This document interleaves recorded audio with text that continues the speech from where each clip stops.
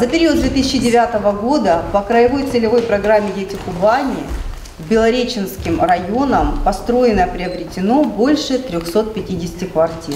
Сегодня вы в количестве 21 человека присоединяетесь к этой цифре, которая год от года будет увеличиваться, для того, чтобы вы могли начать свою молодую, но уже самостоятельную жизнь со своего собственного жилья.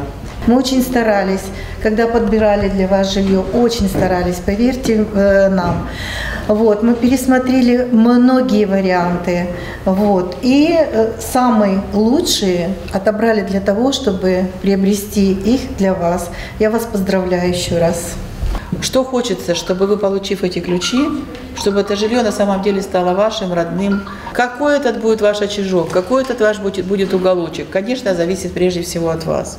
Цените ваше жилье и цените то, что для, сегодня для вас делает, в общем-то, государство. Все, что мы можем, как бы мы вам предоставляем для того, чтобы вы сделали первый шаг в этой жизни, свой самостоятельный шаг.